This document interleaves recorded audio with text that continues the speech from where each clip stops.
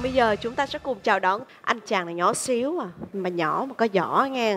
Anh đã thể hiện rất là nhiều tiết mục vô cùng ấn tượng Tại Thần tượng Tương lai. Đêm nay, bạn ấy sẽ mang đến ca khúc Lòng Mẹ, Được thể hiện với phong cách tân cổ giao duyên. Và chúng ta sẽ cùng chào đón bé Minh Chiến.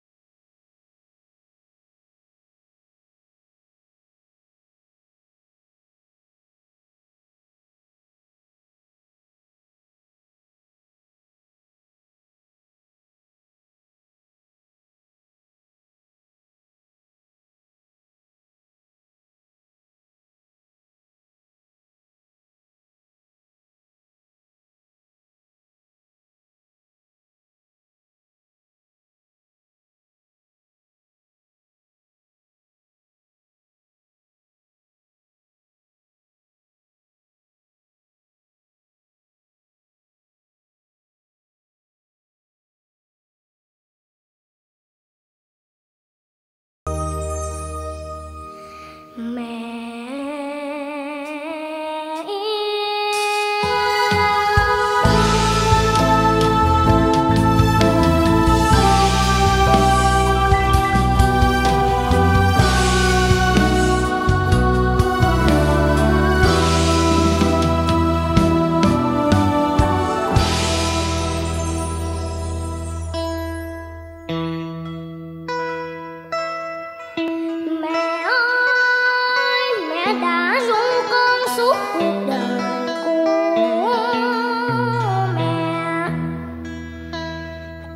biết dâu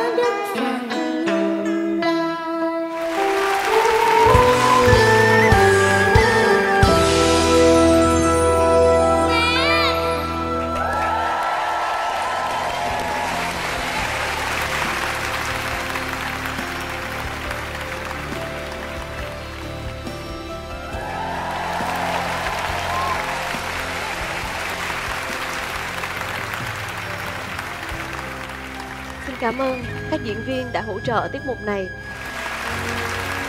Cảm ơn cô ạ. Bây giờ mình sẽ cùng à, nghe lời chia sẻ từ ban giám khảo dành cho tiết mục ngày hôm nay của con nhé. Dạ. Xin mời cô Cẩm Ly ạ.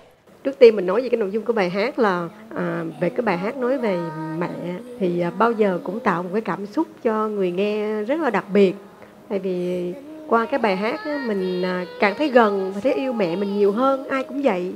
Cho nên là phải đặt cái tình cảm vào nhiều lắm trong ca khúc đó, thì nó mới diễn tả nó mới lột tả hết được. Thì nhìn nãy cô ốc cũng đã có cái cảm nhận như thế rồi. Chiến con có một cái là à, cái giọng của con á nó cứ khàn khàn á. Nhưng đặc biệt khi con hát lên và đặc biệt ở những nốt cao á cái vị trí âm thanh của con nó nó nó chính xác lắm. Rất là hay và lúc đó cái giọng nó rất là trong và nó bén nó ăn micro lắm luôn con á thì đúng là cô ốc nói là nhìn con nhỏ như thế buông ra thì con thành nít nhưng khi con lên trên sân khấu phải nói là dùng từ là một người đàn ông đạo mạo và rất chỉnh chu trong từng tiết mục của mình. Chúc mừng tiết mục của con. Cảm ơn cô. Xin mời chú à, Quang Linh. À, nãy chú tới đây sớm lắm Xong chú nhìn thấy bên kia? Có- Có cái nhà mà không biết nhà của ai Té cuối cùng là nhà của Minh Chiến Đấy Tiết mục hoành tráng ấy sợ luôn. Lên mấy nốt cao vẫn vang sáng sảng vậy. Nhưng mà giọng của cháu đặc trưng là xuống nốt thấp nó sẽ bị mờ và khàn Ví dụ như thường những cái giọng đấy thì lúc thấp nhá Lúc bắn lên cao nhá Thì ở giữa sẽ có một cái tầm trung. Cái tầm cái quãng trung ở giữa để lót cho cái đường đi lên cao. Thì cháu lại không có cái đấy. Thế là một là hát nốt thấp là khà khà ra là bắn piu lên luôn. Thế là mà cái nốt những cái đầu, đầu nghe thì nó nó nó hơi bị chói tai một tí xíu thì trong cái bài hát vừa rồi á thì chú thấy là có một bài đoạn mà giống như cháu không không không làm chủ cái cái hơi lắm cho nên á cái lúc mà cháu ca vào bộ cổ ấy nó nó hơi bị hết hơi tí xíu thay vì đoạn cái nốt cuối cháu vẫn còn ngân được thì thì cháu tắt luôn nhìn chung tổng thể cả cái tiết mục lúc cháu hát cho đến ấy thì nó cũng ờ, khá là tròn trịa ừ. Dạ cảm nhà ơn chú. ừ. Cảm ơn chú Quang Linh. Và xin mời à, cô Thu Hiền với những lời à, nhận xét dành cho tiết mục này của Minh Chiến ạ. Cô thì là một người Bắc mà để một nghe một cái tiết mục này thì cô rất cảm tình và cũng rất xúc động. Cứ cảm giác như là một người nghệ sĩ đứng trên sân khấu biểu diễn ấy chứ không phải là một em bé đi thi. Bởi vì em hát hát bằng tất cả cái cái cái sức mình cho nên phải nói là làm cũng tôi cũng rất là xúc động và rất là cảm tình từ đầu đến giờ. Là lúc nào cũng có những cái cái cái thiện cảm. À, tôi chúc mừng em. Dạ tôi cảm ơn bà. Cảm ơn bà giám khảo với những lời nhận xét dành cho Minh Chiến. Cô chúc mừng con nhé. Dạ.